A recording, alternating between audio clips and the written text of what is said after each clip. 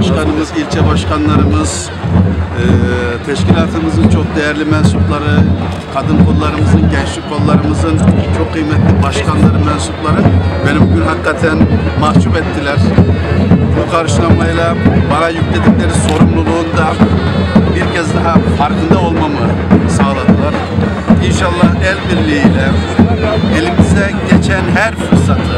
Sinop'umuza ve Sinoplumuza daha iyi hizmet edebilmek için kullanmaya, bütün teşkilatlarımızın başını her zaman dik, dik tut- tutmak için mücadele etmeye devam edeceğiz.